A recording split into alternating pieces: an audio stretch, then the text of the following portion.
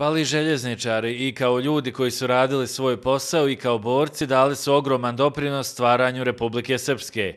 Njihova žrtva nije uzaludna jer Republika Srpska i dalje živi, a njihove porodice i kolege ih ne zaboravljaju. Još samo jednim činom da se zahvalimo našim dragim kolegama koji su svoje živote dali za ovu otačbinu, za Republiku Srpsku, za naša radna mjesta.